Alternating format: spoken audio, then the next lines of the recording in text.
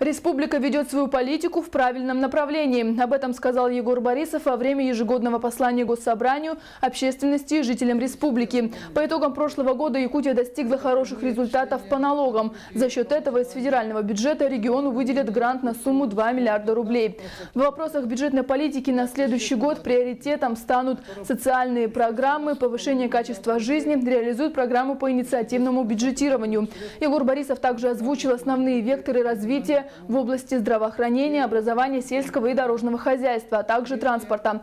А приоритетом экономики региона будет развитие местного производства. Работа по обеспечению рынка труда республики местными кадрами станет ключевым в политике власти. Поэтому следующий год в республике объявлен годом содействия занятости населения. Производить и государственных, муниципальных Я хотел бы сказать, что основным лейтмотивом послания главы республики ежегодно является логика и преемственность.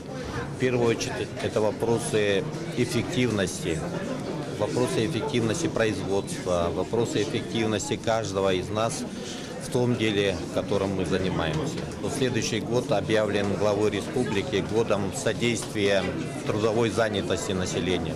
Это говорит о том, что действительно нужно установить реальный диалог власти, общества и бизнеса, потому что все это должно быть нацелено, нацелено на развитие человека.